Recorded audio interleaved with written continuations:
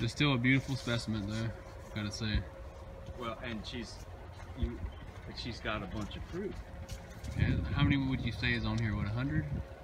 50? I'd say looks like there's one, two, three, four, five, six, seven, eight, nine, 10, 11, 12, 13, 14.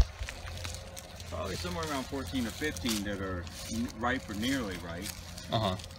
And one, two, three, four, five, six.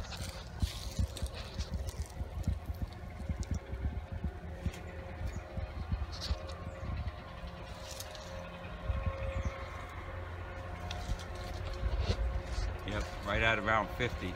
Oh, cool. And that's any with some size, and then there's a whole bunch of little tiny ones. And I see new flowers popping up. Yep, a new little fruit setting. And how much warmer is it here, John? You said? Uh, th- this neighborhood is about five degrees warmer than the airport on average in cold winters. And what do you think causes that in this little spot? Elevation, the airport's low, Uh-huh. so the cold air drains to the airport. It's flat and low and open. This is high, we're at about 210, 220 feet in elevation. And we're also in the middle of the city, so there's a lot of asphalt and buildings around us, and people are heating their homes, so that's the urban heat island effect. So, and and ju- just to kind of gauge it, um, my farm is low and cold northwest of here and out in the country, and it's this yard's about 15 degrees warmer on a cold night than my farm. This might, this might be actually a Mexican type, No, this is uh, what they call Maradol or Caribbean red, I think. and that's what's causing the hollow inside of it. Yeah, it's the type. It's the type of it. The Me- I was saying the, the Mexican type we had when I was a kid. Oh, was the thick, had the solid. had a solid trunk. There's a bunch of species of papaya. And each one tastes so different. I don't know what the what the parentage is. is. So this is just a rare, perfect location that would be hard to grow anywhere else with such a big papaya, right? Just yeah, 'cause- you see the drainage. It's yeah, got it, it drops drainage. down. And now we're putting a cover over top of it to help the fruits ripen better and also keep it alive through the winter. And a lot of the this side of Tallahassee, a lot of it's clay soil. So Mhm. if you were in a poorly drained spot with clay, that would be a problem for a That papaya. would kill it. Yeah, cold, wet feet. Would but not this help. one has good topsoil and immediate drainage, And she's been throwing a lot of uh, mulch down over the years, organic matter. and you can just see how big the roots are. Now, if a papaya was right there near a house, would you have to worry about anything because their roots are different than the hardwood tree? Yeah, they. It would just won't- grow around it, right? They're not strong enough to push Okay. up a sidewalk or a house. Southwest is your third warmest side of the house. It puts up a lot of heat that wall. The south or the southeast are going to be your warmest. And, and don't worry About- about these leaves. If let the sheet break it or cut the leaves off. What's important is this growing tip with the new leaves Mhm. and these little fruits and flowers. Okay. If you keep that tip protected, you can grow new leaves and it'll set fruit and you'll get fruit, you know, July, June or July. Oh, that's awesome. Because I, it, if you protect the whole thing, you'll have fruit year round. At the airport, they've gotten down to either thir 28 to 30, something like that. But we haven't actually got below 32 here in town. Like last night, it was 30 at the airport, but it was 35 in town. and didn't your property get down in the early upper 20s or no? Yeah, my, uh, it's 'Cause- it's 'cause- the, the difference is stark. Where I have the bananas in the coldest spots of the farm, they're completely defoliated, not a green petiole. And then if you look around here at the at the bananas, they just They have, have no a, a issue. singe, Just a little bit. any damage. Um, so Because my Lloyd property, it's a lot of stuff got hit bad, unless it was under a um, magnolia tree or around them cinder blocks I put around in the Christmas lights. Everything else got hit hard. Even papayas that went outside, their the whole tips hit. I've got some seedling mangoes like this. The same thing, just casting out the seeds, and they volunteered. And in the higher parts of my place in Quincy, under the pines, the mangoes are like this. They're fine. But the ones that were in the lower parts where it's cold, they're completely frozen. It just So- blows my mind how just a little bit, a few feet from something can make a such a big difference to a tree from And getting frost. in this area, um, differences in elevation. If you have a place where the cold air can settle, it can be significantly colder. And then under a canopy of trees like these pines and live oaks. So you can have, it, it wouldn't be crazy to have a difference of maybe 15 degrees in one yard. Like the warmest part of this yard or the coldest part of this not, yard on a Mhm. still night when the air can stratify Uh-huh.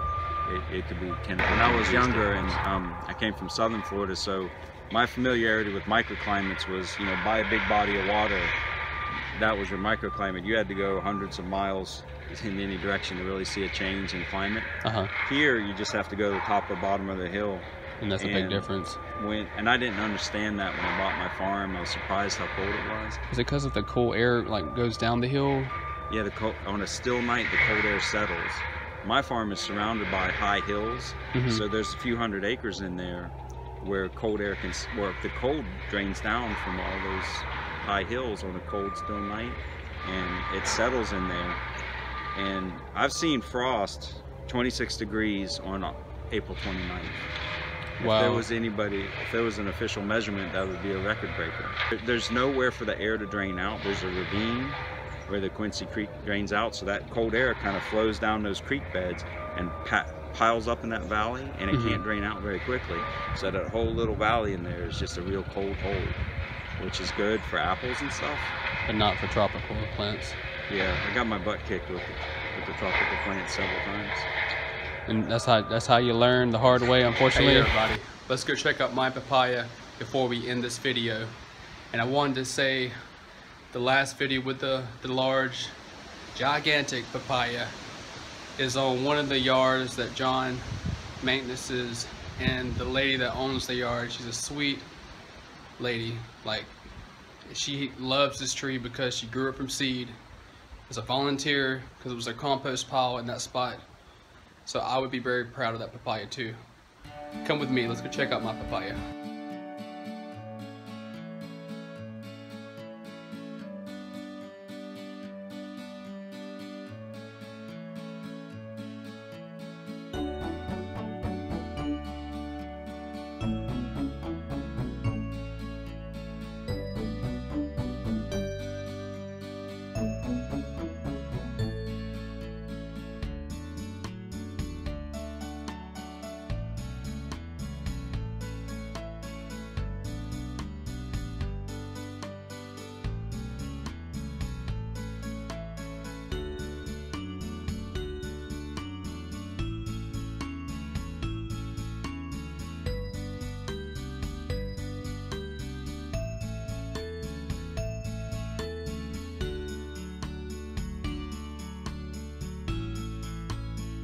Flower. It's going to have a skinny middle part, and the inside is only going to have male pollen.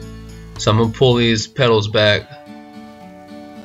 So this is the female flower. And as you can see, I'm just going to repollinate it just to make sure that it's going to take. But with this type of female flower, it has the female part and it also inside has the male pollen inside of it so it will automatically pollinate but I enjoy doing it and now you're about to see inside of it clearer. Alright, see the male pollen to the bottom, so it will self-pollinate on its own. That's why I like this type of papaya. Alright, hope you enjoy this video. Perfect location, microclimate, growing this one on the wall. And as you look down, we live right in front of a lake. So all that cold air that comes down will go below the lake 'cause we're on a hill.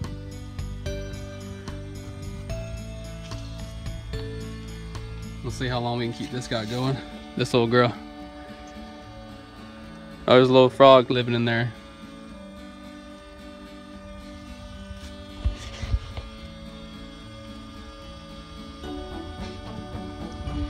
What's up, buddy? This is Blake's Nature Life. Hope you enjoy this video. Subscribe, like.